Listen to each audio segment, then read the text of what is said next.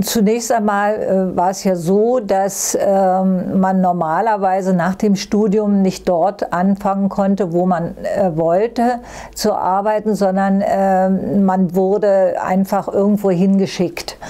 Und ähm, ich habe mich dann aber für Berlin beworben und ähm, wollte innere Medizin machen als Ausbildungsfach und dann wurde ich nach Buch geschickt und zwar äh, wurde mir gestattet, dass ich also in Berlin äh, meine Facharztausbildung machen kann, aber mit der Auflage ein Jahr in äh, der Klinik für Lungenheilkunde in Buch zu arbeiten und das hat mir dann so viel Spaß gemacht, weil wir damals auch noch operiert haben und dann bin ich da hängen geblieben und habe noch meinen Facharzt für Lungenkrankheiten und Tuberkulose gemacht.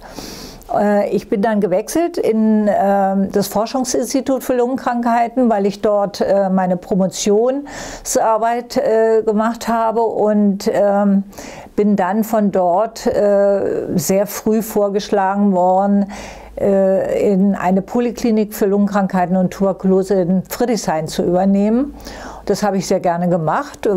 War zwar sehr jung, 34 mit zwei Kindern. Es war natürlich keine leichte Aufgabe, aber es war eine Herausforderung für mich. Und ähm, ja, und dann fingen eigentlich erst richtig die politischen Schwierigkeiten an weil ähm, man mich werben wollte für die SED. Das hat eine Kollegin mir mitgeteilt, die selber auch SED-Mitglied war. Und da ich, bin ich in große Konflikte gekommen. Ich wollte nie in die SED und wäre auch nie da, dort eingetreten. Aber das Problem war ganz einfach, äh, die hätten mich nie in Ruhe gelassen. Und ich wollte meinen Job gerne dort weitermachen, weil er mir Spaß gemacht hat.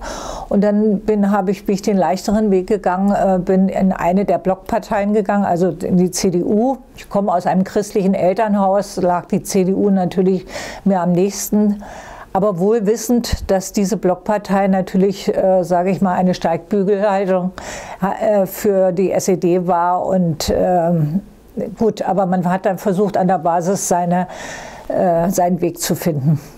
Hatten Sie denn vor weiteren Anwerbungsversuchen Ruhe? Ja, ich habe mich also, äh, ich habe gedacht, das, das, du setzt dich damit nicht auseinander, weil du gehst nicht in die SED. Und äh, das war natürlich für mich ein Schritt, äh, der äh, in Aussicht gestellt wurde, dass ich dann nicht mehr geworben wurde.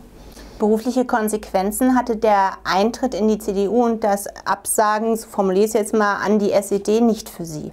Nein, aber ich sage mal so, ich, was ich erst später natürlich äh, nach der Wiedervereinigung erfahren habe, äh, auf mich wurde ein sogenannter IM, ein informeller Mitarbeiter der Stadtsicherheit, angesetzt und äh, der hat entsprechende Berichte über mich geschrieben, die für mich nicht sehr vorteilhaft waren. Komischerweise haben sie mir aber beruflich nie geschadet.